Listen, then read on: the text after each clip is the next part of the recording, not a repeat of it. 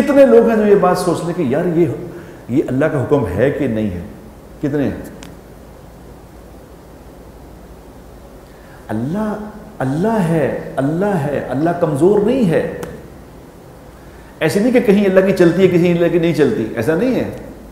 अल्लाह कुदरत वाला है। हर चीज़ पे अल्लाह का कब्जा है।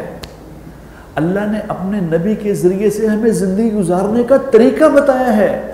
और खुदा की कसम, इतनी बारीक बात बताई है, इतनी बारीक बारीक बातें भी बताई हैं कि जो आदमी सोच नहीं सकता कि अच्छा ये भी बताया है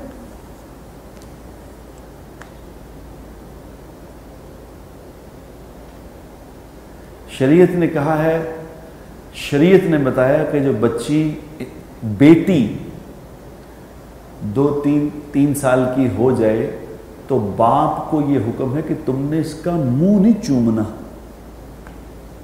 अपनी बेटी का।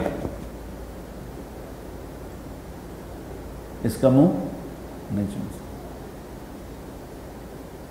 और अब क्या हो रहा है? बेटियाँ, जवान बेटियाँ बाप से गले मिल रही हैं नहीं मिल रही? बहन भाई आपस में गले मिल रहे हैं नहीं मिल रहे?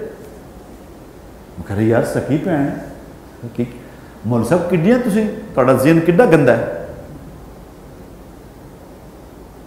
यानी अल्लाह कुछ कह रहा है हम कुछ कह रहे हैं